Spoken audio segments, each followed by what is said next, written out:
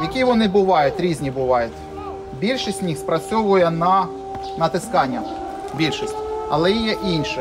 Є ті, що розтяжки, дротові, є керовані, радіокеровані, є накроки сейсмічні, їх кажуть.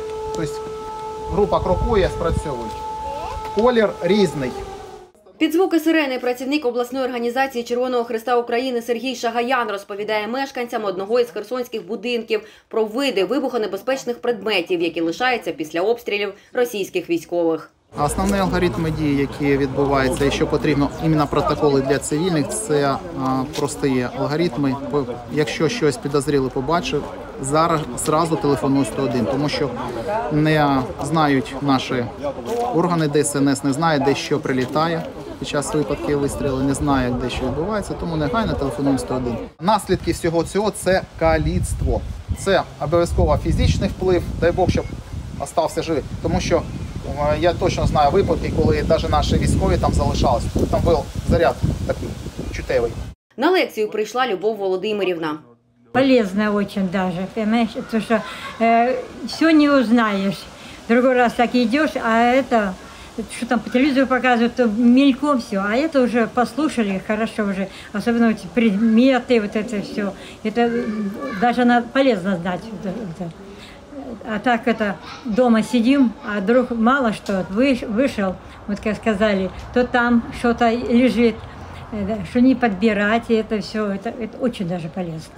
Віктор Кушнір каже, такі знання необхідні кожному херсонцю. Были такие случаи, к нам на общую кухню прилетел снаряд, который не разорвался. И, честно говоря, первый момент мы не знали, что нам делать.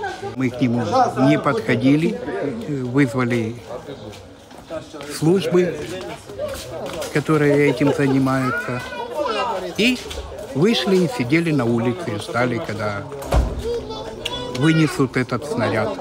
Керівник ОСББ Сергій Луцький розповідає, такий захід провели у п'яти будинках. Інформація корисне, адже місто постійно обстрілюється. Я лично с дворником, газонокосильщиком находили мы лепесток на Поповича один, обкашивали дом и нашли лепесток, который был дистанционно установлен. Но этот лепесток после того, когда вызвали спецслужбы, он уже был, э, ну как, э, не, не опасен для нас, то есть его просто забрали увезли. Здесь на доме тоже у нас были прилеты, были прилеты э, града, ракеты, были прилеты минометные и был танковый прилет. То есть этому дому досталось ну, довольно-таки очень ну, много печали он пережил, этот дом. И, соответственно, люди тоже ну, как бы хапанули этого ужаса.